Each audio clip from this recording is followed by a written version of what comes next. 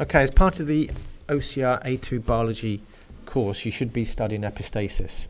If you've been reading your textbook, you would have come across already recessive epistasis, where the two recessive, or the homozygous recessive alleles affect the expression of another gene on a completely different chromosome, and dominant epistasis, where just one dominant allele of a gene on one chromosome can affect the expression of another dominant allele of another gene on a different chromosome. In this example, I want to talk to you about complementary epistasis. I'm going to go through the examples that are already in your textbook, sweet peas and chickens, the Coleman chickens. Um, so if you read your textbook, watch the video, fill in the handout if you're in my class, I would have given you the handout. Um, pause the handout when you need to think about things, replay it if you need to listen to things again. So epistasis and sweet pea. An experiment done by Bateson and, Punnett, two geneticists, was when they crossed what they thought to be two pure breeding white sweet peas. And they were really surprised in the F1 offspring, they got 100% purple flowered sweet peas. So this characteristic wasn't even in the phenotype of the parents at all. So that surprised them. When they uh, crossed the F1 generation, they continued to get purple flowered sweet peas. And they also obtained, once again, white flowered sweet peas. But in a particular ratio, which I didn't expect, which was 9 to 7. So this is not your typical Mendelian genetics, so they thought, of a 3 to 1 ratio. The explanation for this is epistasis. Um, so I want to talk to you about the science behind what happened here, then we'll go through the genetics of it all. So, initial coloured sweet peas, which are white, that's their default colour. If you have a particular gene, which we'll call A, and a particular allele dominant, will code for an enzyme, the recessive allele does not. So if you've got the A, you get the expression of this gene and an enzyme. Now that enzyme will affect the biochemistry of this flower and give you an intermediate product. In this particular example, it's colourless. I'm following the example that's in your OCR textbook. You might find other examples where it's described as a red flower, but for the point of OCR textbook, we'll just stick with colourless, or it'll appear white still. But if you have a present, if you have the presence of another gene in the dominant form, we'll call this allele B. So if you've got the dominant B, you get another expression of an enzyme which will result in purple colour. Now, if you have a flower which has this dominant B but it doesn't have the dominant A, you won't get to that stage, you won't get purple because you wouldn't have got to the intermediate product in the first place. Likewise, the presence of dominant A without the dominant B, you won't get the final colour of purple. So this is how the two alleles complement each other. So this is complementary epistasis.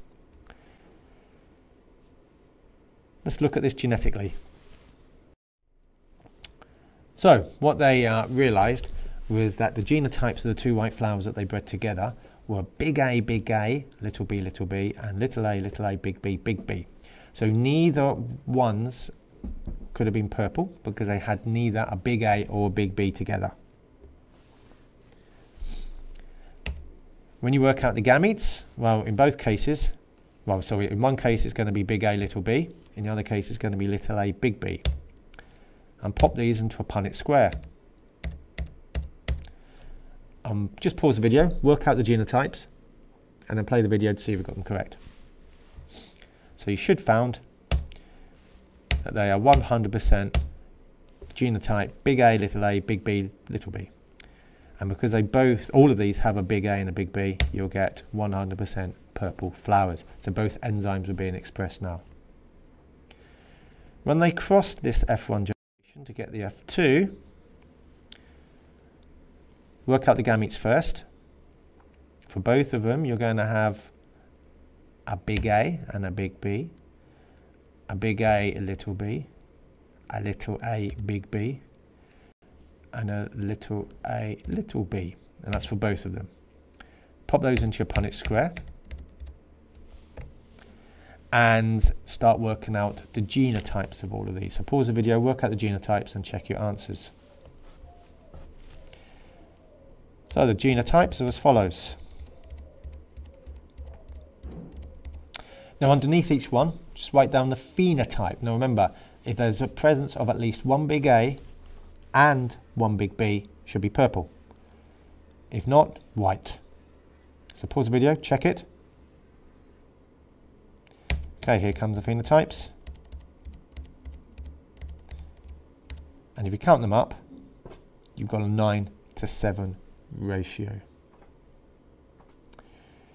Right, let's now look at the example of chickens or chicken combs in which you see in your textbook. So epistasis, complementary, complementary epistasis again, of chicken combs. Right, what are the chicken combs? Well, they're, they're the structures on top of the heads. And you can see they all come in different shapes. And the shapes are as follows. There's rose shape.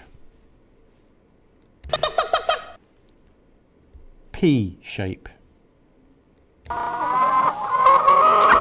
Single shape.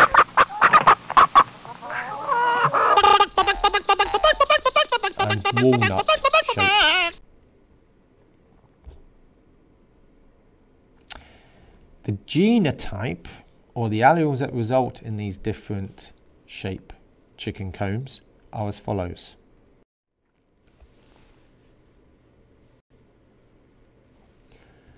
So just the presence of these genes at different loci will result in the following genotypes. So for walnut, you need to have at least a dominant R and a dominant P.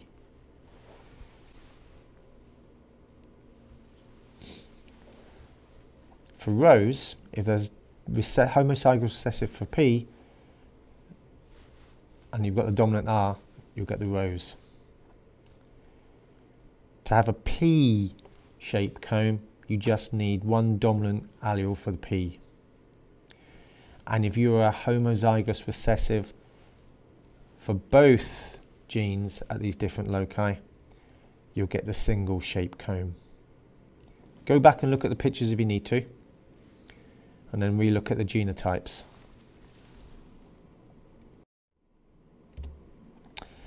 So, Let's look at this example. A walnut chicken, heterozygous for both genes.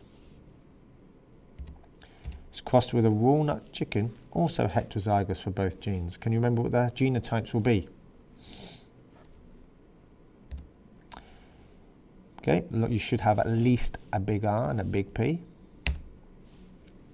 And because it's heterozygous, we can only have the one. So big R, little r, big P, little p. What are their gametes? Write those out.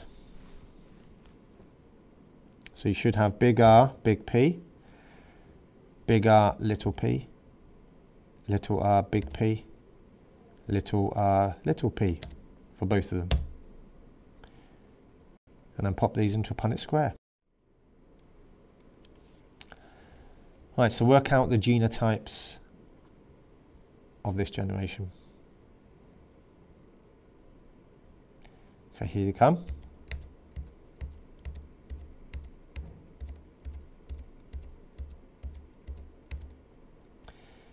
Now, I hope you noted down what the genotypes result in in terms of the phenotype. Go back and have a look if you haven't written that down. But from now on, please fill in the phenotypes.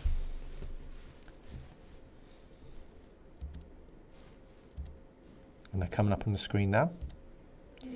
So don't forget, if you've got at least a big R and a big P, you're going to get walnut. So the next one should be walnut. Now go back and look what happens when you've got at least one big R, but you haven't got a big P. Rose. Next one. Walnut. Next one, there's a big R, but no big P.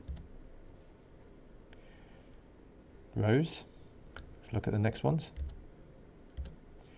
Okay, this one here, we've got no big R, but we have a big P. We've got two big P's, homozygous big P.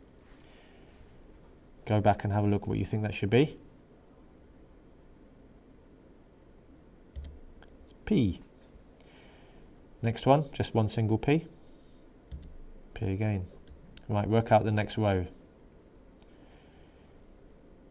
You've got a big R and a big P, therefore walnut. You've got a big R, but no big P, rose. no big R, one big P, P, and then we've got the homozygous recessives. No big P, no big R, last phenotype remaining, single. In this case, you actually go back to a characteristic 9 to 3 to 3 to 1 ratio. So sometimes in complementary epistasis, you will get this typical ratio again. So, what's happened here? Default phenotype single. If you've got the allele P, you'll get the P-shaped comb.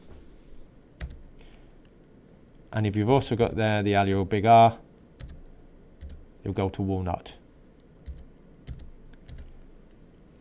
If the allele R is present, but you haven't got the allele big P, you'll go to rose.